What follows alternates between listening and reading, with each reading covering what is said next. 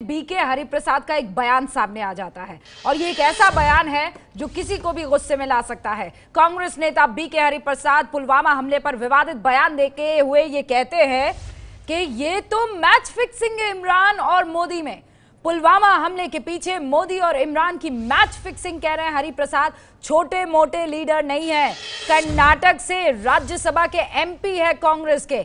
ऐसे में बीके हरिप्रसाद का ये बयान बताइए क्या कहता है? सुनिए आप क्या कह रहे हैं।